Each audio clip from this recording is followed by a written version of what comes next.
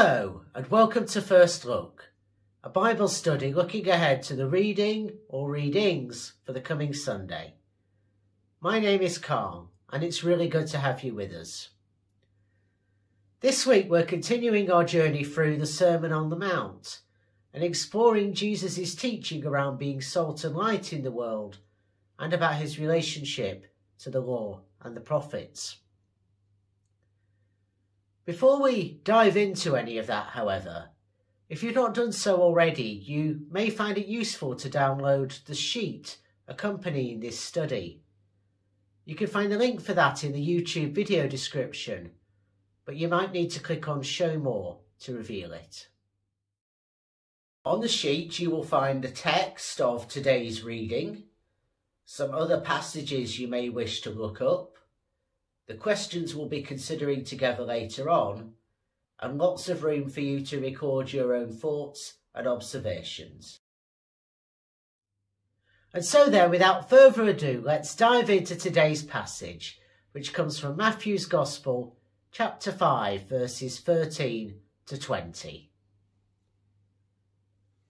We've just heard, towards the end of chapter 4, about Jesus calling his first disciples, and then beginning travelling around the region of Galilee, preaching the good news that the kingdom of God had come near and curing the sick. That's chapter 4, verses 18 to 23. And we learn in the subsequent two verses, verses 24 and 25, that this meant that Jesus' fame spread rapidly and he attracted people to him, not just from Galilee, but also from Syria and the Decapolis, the ten towns, from Jerusalem and Judea, and from the region alongside the River Jordan. In other words, those same people who'd gone out to be baptized by John the Baptist. And it's that which is the prelude to what we now call the Sermon on the Mount, which covers chapters 5 through to 7 in Matthew's Gospel. Mountains were places that were traditionally associated with encounter with God, and we see that time and again in the Exodus story, for instance. So it's probably not surprising that when Jesus sits down and begins to teach as a rabbi, he does so from the setting of a mountain. And what Matthew does in the Sermon on the Mount is collect together a large group of sayings of Jesus. And it's one of five blocks of that that we find within this gospel. Some argue mirroring the five books of the Torah. Today's extract of the Sermon on the Mount follows on from verses 1 to 12 of chapter 5 and the Beatitudes that we thought about in last week's study, which point to God's favour towards humanity and to unexpected categories of people being regarded in the kingdom as blessed. So that sets the scene for what Jesus is now going to go on to say. So in this passage, we have Jesus at the beginning of his public ministry and having attracted large crowds to come and hear what he's got to say. We also have said crowds, a mixture of Jews and Gentiles, uh, from the description we have, so drawn from quite a wide area. And by reference, we have Pharisees and scribes. Now, the Judaism of Jesus' day was diverse and it was lively, and the Pharisees were one of the main parties within it. They shared a commitment to righteousness and holiness with Jesus. And indeed, the Jewish historian Josephus tells us that they were regarded by many as being the bearers of the gold standard for righteousness. And that'll be important later on. The scribes, who are often associated with the Pharisees, were experts in the Jewish law. Now, Matthew's Gospel was the second of the canonical Gospels to be written, likely around 75 to 80 of the Common Era. So, at a time post the destruction of the Jerusalem Temple in the year 70 and the resulting divergence between church and synagogue, and also Matthew was writing to a predominantly Jewish audience. And his Gospel of the four canonical Gospels is the one that's generally most regarded as heavily invested in Second Temple Judaism. There are other texts it's useful for us to keep in mind as we grapple with this collection of sayings of Jesus. And I'll say more as I go through, but we may wish to turn to Mark chapter 9, verse 50, or Luke chapter 14, verse 34, to find other examples of Jesus' pithy saying about being the salt of the earth. That reference to his saying about salt leads us into the first part of today's reading, which divides up into two pericopes. verses 13 to 16 cover Jesus' teaching about being salt and light. And then verses 17 to 20 tell us about how he understood his relationship to the law and the prophets. So we begin in verses 13 to 16. Jesus' followers are described in the present tense in these verses as being salt and light. And that's because I think Jesus is wanting to make the point that how our lives in the kingdom look and taste matters. Being tasty, being lit up can make a big difference in the world.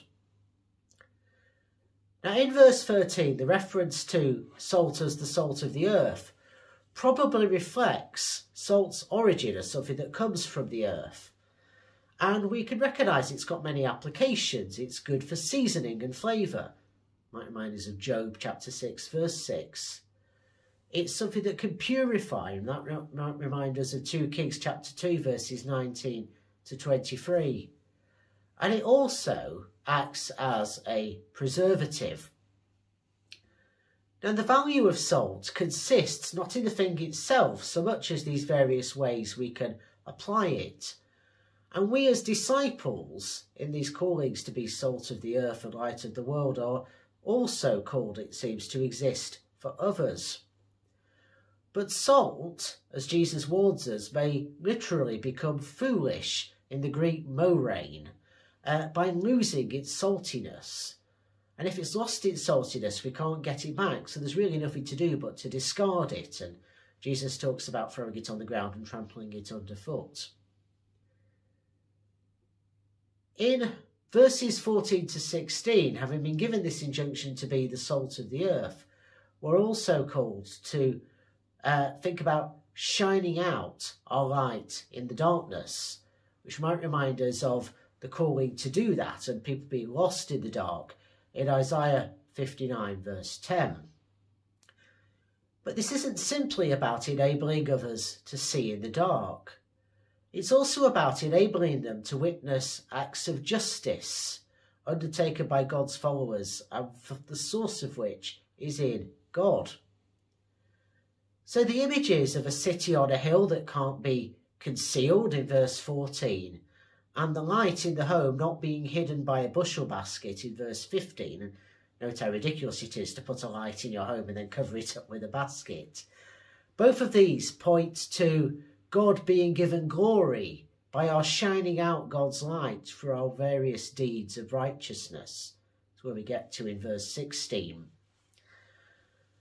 It's easy in a world where something like salt is plenteous, it's, you know, something just sat on the table, a cheap uh, condiment, and where light is everywhere, we can't escape electric lighting, indeed light pollution is something of an issue in our society. It's easy to forget, A, that salt was very valuable in Jesus' time, and also that people were used to a world that was a lot darker physically than ours. You know, there wasn't so much light around. And so these things were precious and significant in a way that we can easily miss today if we um, forget those bits of context. So Jesus is calling us to be really quite significant and important things in that first pericope in verses 13 to 16. Our attention now turns then to the second pericope in today's reading, verses 17 to 20, and Jesus is teaching about his relationship to the law and the prophets. Now in verse 17, the Greek word that's used for abolish, katalu, um, is something that means to, to tear something apart or to loosen it. And it's the opposite of building things up. We might be reminded of Jesus' talking about the Jerusalem temple being torn down in, for example, chapter 24, verse 2, chapter 26, verse 61, and chapter 27, verse 40. So Jesus does talk about, so wanted to destroy the temple, it will be rebuilt in three days. But Jesus specific about not seeking to abolish the law and the prophets, not to tear them down. He intends instead to fulfill them in the Greek pleroo. Um, and that doesn't mean to complete or to bring to an end as such, as we may interpret those, those things, so much as to apply the law of Moses and the teaching of the prophets anew in Jesus' particular context.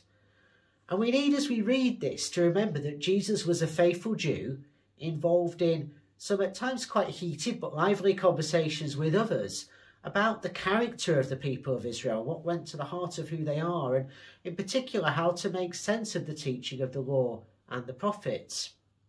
And if we read on in the Sermon on the Mount, we find various instances of Jesus saying, You have heard it said, dot, dot, dot, but I tell you. The most famous example perhaps being loving our enemies. It shows that Jesus thought there was some scope for reinterpretation, and it highlights this focus on applying the law and the prophets. Jesus goes on in verse 18 to talk about not one jot or tittle, to use the wonderful King James Version translation of this verse, um, being erased from the law of the prophets until heaven and earth pass away. The NRSV has the slightly less prosaic, not one stroke of a letter will, will pass away. In our context, we might think of that as being like dotting the I's and crossing the T's. It's, it's those things that distinguish letters in Hebrew from, from one another. And when Jesus says that not one of these little details will uh, be erased from the law of the prophets until heaven and earth pass away, it's pointing us to, I think, the consistency of God's character as liberator, as the God who led the people out of oppression in Egypt and will continue to liberate and bring freedom, and to God's character as the source of goodness who can be trusted. If we were, as Jesus makes the point in verse 19, to discard the law and the prophets or hack away at them or loosen them up in some way, tear them apart, then effectively we're saying that God's promises and the consistency of God's character do not matter somehow. And we also rend asunder the relationship between commandment and narrative that runs through the whole of the Hebrew scriptures, and perhaps is exemplified most in, in Deuteronomy, where Moses reminds the people that they were once slaves in Egypt and gives them commandments on that basis, connecting their story of exodus and liberation and freedom with what they are then to do with the source of the law.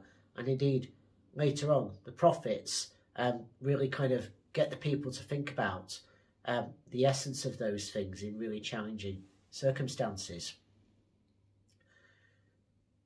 This little pericope concludes with a challenge that has too often been dismissed in the life of the church, I think, in verse 20, with the challenge to be greater in righteousness than the Pharisees and the scribes, we talked about as one of the great groups within Judaism. It reflects the commitment of the Pharisees and the scribes to the law and to righteousness, to that kind of um, virtuous living that St. Josephus says they were noted for. And so to exceed their righteousness is no mean feat. It's, it's a really important thing. And to go back to this idea of, uh, you know, you have heard it said, an eye for an eye, a tooth for a tooth, but I tell you, love your neighbours as yourselves and pray for those who persecute you. I think that's a really powerful example of Jesus leading us into that greater righteousness with his different interpretations. So this is a kind of mixed bag of a text, really. The first half, perhaps quite well known and um, might seem quite a bit easier, perhaps, to deal with than what we find in the second part in verses 17 to 20. But taking it as a unit, there's a real fleshing out here, I think, of the kind of life of the kingdom of God which Jesus has been talking about having drawn near in his person. And with that in mind, we now turn to think more deeply about some of the questions this text generates by looking at our particular questions for this week.